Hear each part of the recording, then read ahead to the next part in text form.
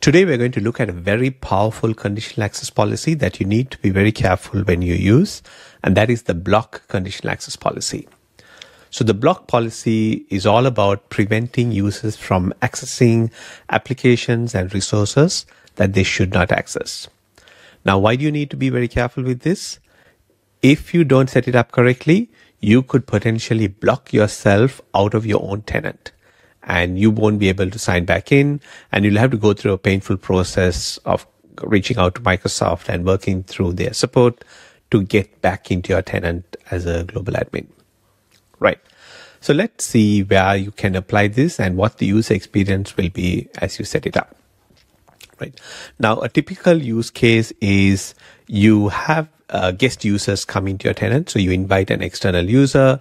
Say you want to collaborate with them on SharePoint and you want to work on a document or some project where you're collaborating with them. Now, what you might not realize is that these users by default also get access to all of the apps in your tenant, which includes privileged apps like Azure. Now, you might not want to do that. It's not a really big issue for um, the default behavior because Azure by default gives only very little metadata access to guest users. So there isn't much that they can do. But someone could accidentally give access to a subscription or a resource group or something important within Azure to a guest user without realizing it. So that is why as a policy, you might say, I don't want to allow guests to be given access to the Azure tenant by default, right? So you can set up a conditional access policy that will block these users from signing into the tenant. So that's where the block policy comes in and you can apply that to prevent access.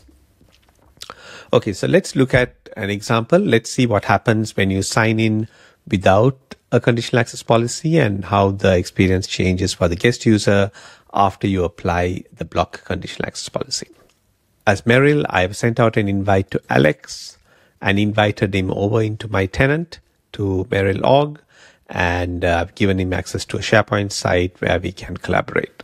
So if he clicks through, he will be able to sign into my tenant, into the SharePoint site in my tenant, and he can see the documents. He can access that site within uh, within SharePoint and so on. So all that's good. So let's see what happens when he tries to access Azure using the browser. So now he's in the Azure portal and by default it's in his tenant. So he's, um, he's all good at the moment. But what he can do is he can click on switch directory and he can switch over into my tenant. So even though he's the guest, he can click on switch and he can switch over into my tenant and be able to see um, things in my tenant right? So let's say he goes into Entra ID in my tenant. He can see some metadata, but if he tries to access anything, say for example, the user's blade and so on, he wouldn't uh, see much information. In fact, it'll tell him that he doesn't have privileges to see. So for the most part, you're safe. Um, by default, there's not much a guest user can do, but it's the accidental adding into a subscription that we want to avoid. Okay, so let's see what happens when he tries to connect uh, from the command line and tries to connect into my tenant as the guest, right? So he's given tenant, uh, he's trying to connect to Merill.org. And so he's now has to, and he has to use the browser to sign in.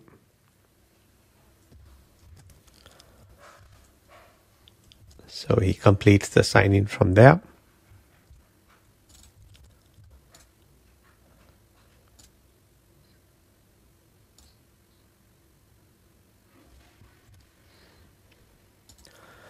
And so he signed in. So you can see how he connected to my tenant, even though he's a guest from a different tenant, he was able to connect into my tenant. So he can do things like uh, get Azure AD organization and he can see some metadata about my tenant, uh, not much else, right? So now let's see what happens as an admin if you go in and configure your conditional access policy. I'm now logged in as a global admin on my tenant and I'm going to create a conditional access policy that's going to protect my tenant from guest users accessing Azure. So let's go into conditional access. Right now, I have one policy defined. I asked for MFA from all users. Let's create this new policy that will be applied to all the external users, and I'm going to block access to Azure. So we are going to target this at guests and I'm going to target it at all types of guests. Right, so I'm going to pick all of them. So any different type of guest categories as they come in, I'm going to block access for them. Now what I'm going to do is a good practice is to always exclude your emergency access account. Right, so I'm going to say I'll pick my emergency account that I have. It's a global admin that I use for emergency access in, and I always exclude this. Now you have to be very careful with block policies.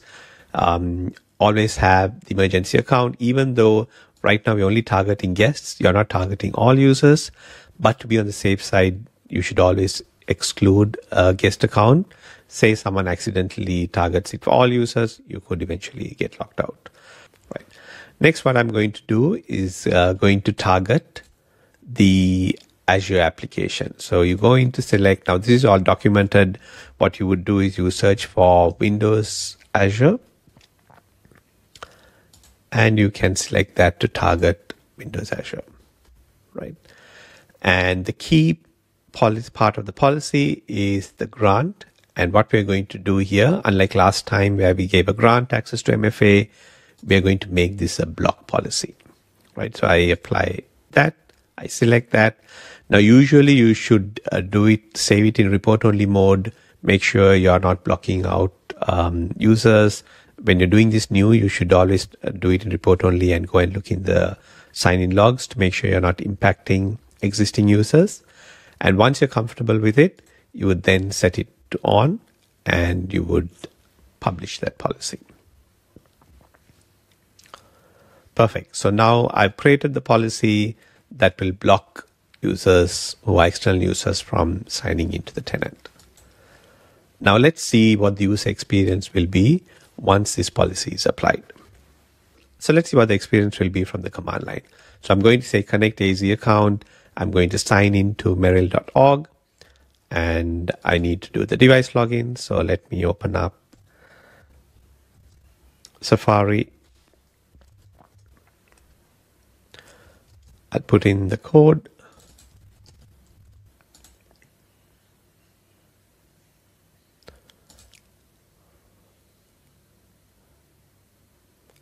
Right. And now you can see the conditional access policy has kicked in and it's a hard block. So it says you don't have access to this. Your sign in was successful, but you don't have permissions to access this resource. So that's a very clear message to the user saying you cannot sign into the Azure tenant for this user. And it gives you the details about log information and so on. So he's in his own tenant now Let's see what happens when he tries to switch back into my tenant. And you can see conditional access immediately kicks in and prevents this user from signing in. Perfect. So that's the block conditional access policy. And we saw how you can define block policies to protect your tenant. Now with conditional access policies, there are multiple ways to achieve the same outcome. You can define grant policies with exclusions, or you can also define block policies. And each has its pros and cons.